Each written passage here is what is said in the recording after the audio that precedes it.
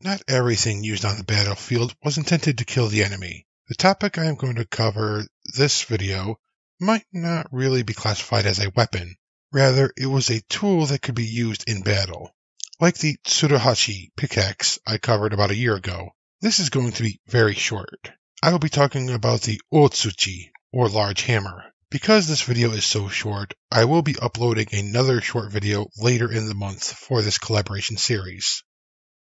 Please go and check out the channels of other contributors, Samurai Ninja History, The Shogunate, and Samurai Traditions of the Tada Genji. Their channels, as well as any videos for this month, will be linked in the description. There really is not a lot for me to say about the Otsuchi, and my purpose here is just to show that battles were not all just guns, bows, swords, and spears. The Otsuchi is basically a large version of the basic hammer that was commonly used at the time. It was a wood hammerhead, or more accurately, a mallet head, on a wooden shaft. Small, normal, and large size versions of this tool could be used for a variety of tasks. Although this ukiyo-e print by Utagawa Kunisada, or Utagawa Toyokuni III, I am using as a background visual here, is probably the most famous artistic representation of an Otsuchi, it does not mean that this was the only way that they could look. The Otsuchi could be used for a number of constructive and what could be called destructive jobs. They could be used in the creation of fortifications or defenses when large logs or pieces of wood were needed to be secured into the ground.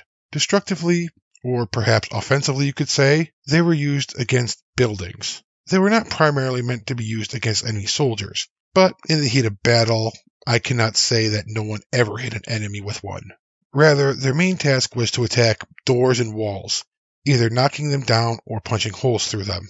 This they would typically be used during either sieges or attacks on residences, the latter being the source of this print on screen from the famous story of the 47 Ronin of Ako, where they assaulted the mansion of an enemy, and according to the story at least, some used Otsuchi to breach the doors and break through walls. There was a common civil use for these large tools in the Edo period as well. In cities, one of the biggest fears was fire, particularly very populated cities such as Edo, where people lived practically right next to each other, and thus fires could spread very quickly and be devastating. Firefighters, or hikeshi, would use the otsuchi to break up and bring down buildings to create fire breaks.